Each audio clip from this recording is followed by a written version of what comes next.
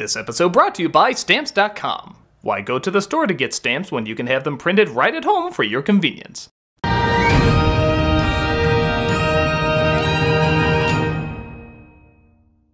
Ladies and gentlemen, behold the outcast, the creepy and depraved, the bizarre creations not meant for the normal world. Embrace the twisted weirdness of freak show cinema.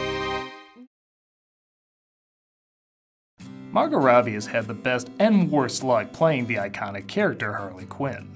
I argue there's far more pros than cons, especially when you consider in DC's lineup, actors have been switched out to play famous characters, and she stayed the same the whole time.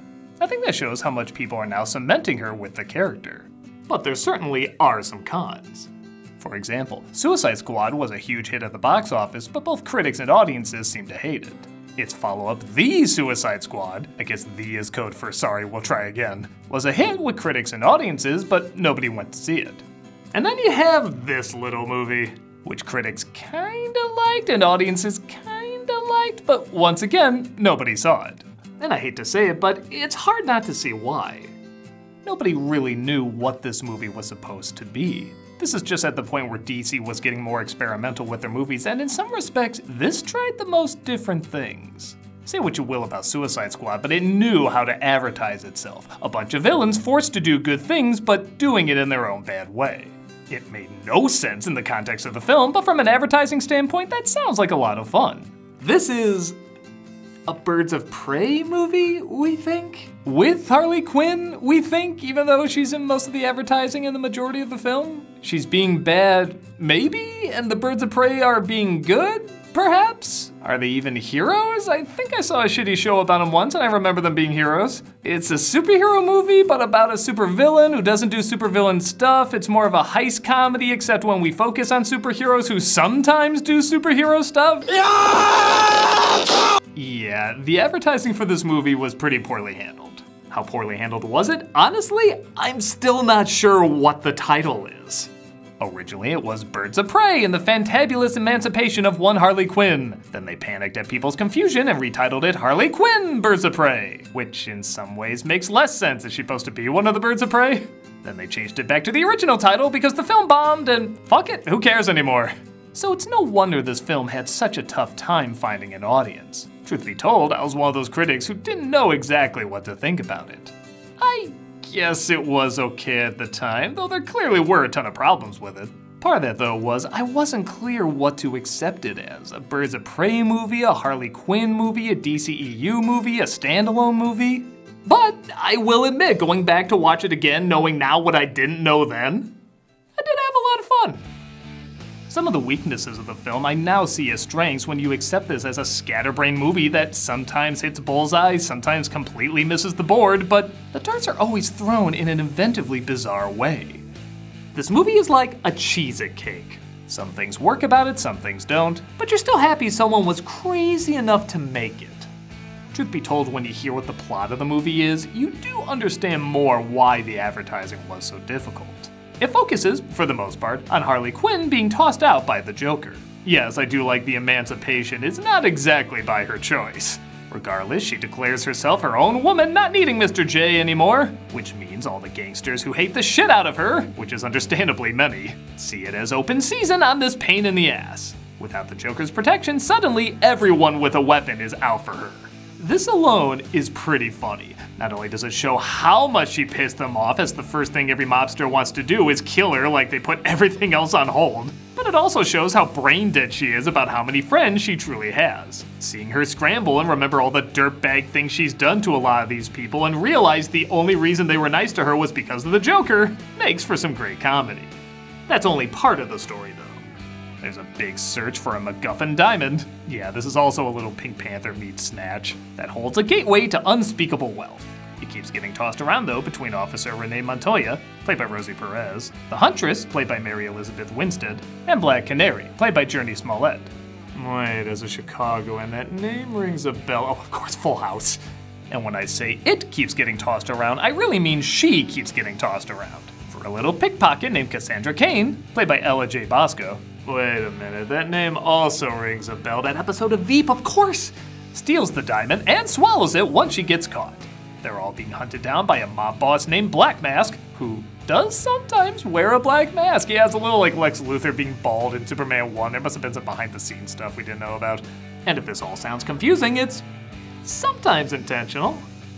Upon first viewing, it can get pretty frustrating, but when you watch it again knowing where it's all gonna go, it does grow a little bit of a charm for just how random it is. It's hard to explain, but there's something enjoyably frustrating about it. Though it does make the film choppy, there is something refreshing not always remembering what happens in what order. It's not a film where I shout, oh my god, this is so forgettable, I don't even remember this scene. It's more, oh, that happened here? I thought it was later in the film. As someone who sees a lot of movies, there is something nice about having that spontaneity, yet I still remember what happens in each scene. And it does match Quinn's personality as the narrator. But like I said, it doesn't always work. Black Canary's powers don't really come into play until the last third, and I'm not sure I followed why. At the end, when they try to show the birds of prey together, I wasn't really excited to see more of them because the main focus was still Harley. There wasn't quite enough focus on them to convince me they deserve a solo movie. Which, with these titles, that's clearly not what this was. And then there's this weirdness. Diamonds are a girl's best friend. I get the feeling this made more sense in the head of the writer or the director. Like, maybe this was supposed to be the pink elephants or dude dream sequence that's just odd for the sake of being odd. But it never quite fit naturally into the movie. In fact, it feels really trimmed down, and this did not look like a cheap scene to shoot. It's just there, and then it's gone. But then there's scenes I didn't laugh that much the first time, but seeing it again, they kind of crack me up for how random they are. In the first third, Harley is obsessed with having this egg sandwich. Even when people are shooting at her, her big concern is getting a bite of this thing. First time I saw this, I didn't think it was funny enough to dedicate so much attention to, but combined with every other strange tidbit, it does bizarrely work. She literally has no friends, and the world is trying to kill her, so her closest companion is her breakfast. It's pretty hilarious that this is the only friend she's got. But wait a minute, this is Freak Show Cinema. Is this really as twisted and weird as it gets? Join me back after this commercial.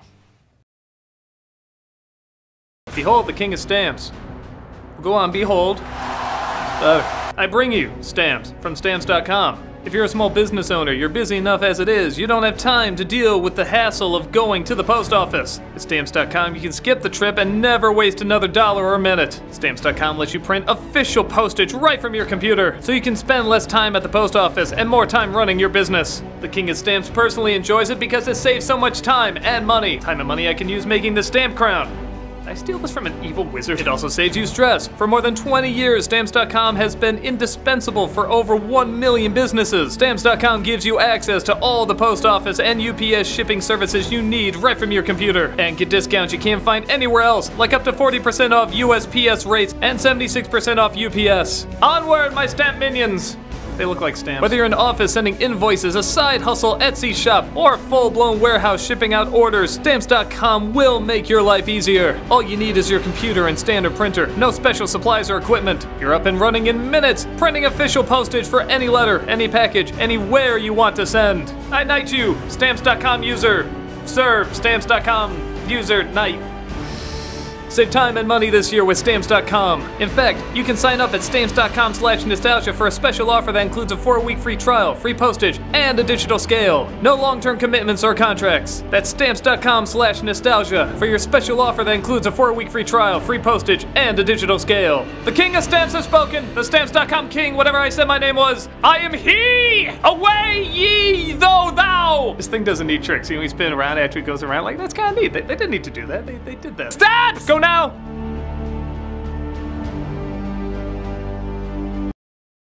So I'll just say what everyone else is thinking, or should be thinking upon seeing this. Ewan McGregor should have played the Joker.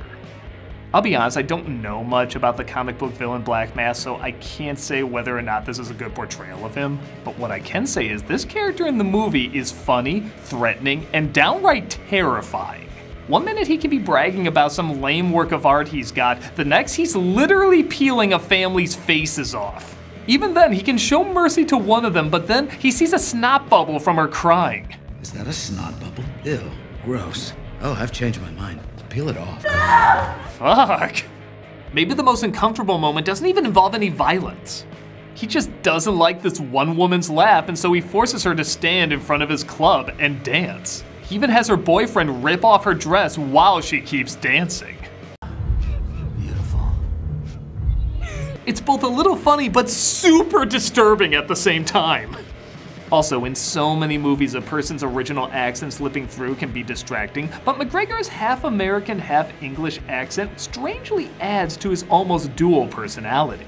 Why doesn't this crossbow guy know that? You know that. I know it. Why don't I own the crossbow gun? You should own it. I mean, I like crossbows. Sometimes he's a goofball, like a fun guy you like to be in the same room with, but in a millisecond, he can turn into the last person you'll ever see in your life. And then I'm gonna peel off that pretty face and pickle it. Needs to be funny, he's legit funny. When he needs to be scary, he's legit scary. You wouldn't betray me, would you? I was just gonna go look for the girl. Oh, no, no, no. I want you to stay here with me. I want you to stay here with me close. If this was the Joker we got in Suicide Squad, I think we would have gotten a lot more movies focusing on Harley and his relationship. Whoa, wait. What? Don't kill me. Ha, right. Even with such big personalities as the antagonist and protagonist, though, the film does still give attention to its title ish characters. It's nice not only seeing some love given to Renee Montoya in a DC movie, but also Rosie Perez. For a while, she was seen as a comedic loudmouth through most of the 90s, but I remember seeing her in some really dramatic work and knew she could pull off some decent performances. I think she really nails Montoya as an older yet still badass cop, but also giving into her corny side with her forced one liners. Harley Quinn just called open season on herself. Black Canary is also pretty good, trying to play both sides in order to get what she's truly looking for. And Huntress has a good backstory, but she's introduced a little too late to give her much of a character. Her only personality traits is that she wants revenge and doesn't know what to call herself. Do you know who I am? Do you know who I am? I guess that's not bad, but it doesn't really stand out either. The same can be said a little bit for Cassandra. Both these parts are acted well, but the script doesn't give them a ton to go off of. I like them fine, but if I was just to read their dialogue, I wouldn't know too much about their personalities. Just what they want and how they're getting it. Which is important, but it's not the complete package. I mean, I guess one day Cassandra Cain becomes Batgirl. Shit, I want future Batgirl to be as developed as Montoya is. But with the movie already juggling so much, it's not surprising some characters had to get cut down. I was actually shocked to discover this movie's not even two hours long, it's an hour 48. Good God, they squeezed a lot into this for that amount of time. And even with so much thrown in, the film visually still looks pretty badass. Everything from the club to the abandoned funhouse to even the end credits has a grotesque, surreal, twisted look that again feeds into the dark spontaneity of its main lead and main villain. The movie looks really friggin' awesome and has no problem being loud and colorful, but also sick and gray a moment later, or even both at the same time. The action in this movie is also creatively wild. If you were to ask me where the fight scenes in Batman v Superman took place, I'd say, I don't know, abandoned buildings, abandoned buildings, and some not abandoned buildings. They're all forgettable. Here, I remember the break into the police station, the fight in the evidence locker, the climax in the funhouse, the chase at the marketplace, the car chase on rollerblades. These aren't groundbreaking fights or anything, but they're all thinking a little outside the box. They're not trying to be epic and huge, they're just weird and fun, but also clearly putting a lot of thought into their choreography. It should also be pointed out that in the DCEU, this is the first R rating. With that said, the movie is smart enough to know how to use it. In that face peeling scene, it would have been really easy to go over the top with the gore, but I think just putting the knife to the throat and showing the peeled face is all you need. If it did more, it would have taken away from McGregor's performance, which is what's the most terrifying about this scene. A lot of people have said it was probably rated this way to cash in on the success of Deadpool, and while that wouldn't be the first thing that pops in my head, it wouldn't surprise me either. Even the comedic scatterbrain narration has a little bit of that feel. But I really don't think this is just a female version of Deadpool. It really is a Harley Quinn plus friends movie. Honestly, as much as I and a lot of our people have picked on the DCEU, there are several things they've done before the MCU. They got a female led superhero movie first, they got a film about the villains first, they swallowed their pride and did a take two of a giant movie first, And while yes, a part of me does want to see a movie where more of Harley's tragic side is addressed, I'm not sure that's where we're at with this character right now. People forget she's only had three movies, and only once has she been the main character. And even that's debatable. For her second film in the spotlight, I think it makes sense just to have her in a crazy ass scenario because that's what drew us to her in the first place. Especially after seeing her in Suicide Squad, a film that a lot of people didn't like, I think it is important for people to know this character can hold her own flick. On that point, I will admit, I don't think this movie's for everyone. Some people just can't get into Harley Quinn, and some of the randomness in tone, pacing, and humor can throw a lot of folks off. But I will say if you saw this movie like I did and it didn't particularly grab you, give it another shot. It doesn't get deeper or have any secret meanings, it's quite the opposite. It gets a little weirder, crazier, and even dumber. But in a way, I think that's mostly intentional. If you go in aware what you're going to get and you just enjoy the insanity of it, you might have a twisted, mean spirited good time. I don't want to say this is a turn your brain off movie because that's usually the excuse actors give when they know they're promoting shit, but it is one that gets better if you watch it in an odd mood. If you do so, it's surprisingly enjoyable how all over the place it is, how disturbingly harsh it can get, yet still how little it all adds up to. It doesn't quite add to nothing to think about, like I said, it's not Big Lebowski, but it still adds up to very little, and again, I think that's intentional.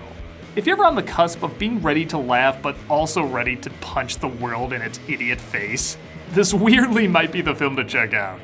Give it a watch and see all the what the fuckness you've been missing out on. I'm a nostalgia critic guy, remember? So you don't have to. Why don't I own the crossbow gun? You should own I mean, I like crossbows. Hey, Doug Walker here doing a charity shout out, and this week it was a, another recommendation, so thank you so much for that. This is the uh, Double H Ranch, and the mission of the Double H Ranch is to provide specialized programs and year round support for children and their families dealing with life threatening illnesses. Their purpose is to enrich their lives and provide camp experiences that are memorable, exciting, fun, empowering, physically safe, and medically sound. All programs are free of charge. Since 1993, it has served over 60,000 children dealing with life threatening illnesses from around the world. It was the second hole in the wall camp in what has become a worldwide network of not for profit recreational and therapeutic experiences for children with serious illnesses. So, as you can see, this is a very good organization doing some really good work. If you can donate to it, fantastic. If you're not able to, just spread the word. As always, there's so many people doing so many good things, and the more attention we can get on, the better, man. So, uh, that's about it. Please check them out, and I'll see you next time. Take care.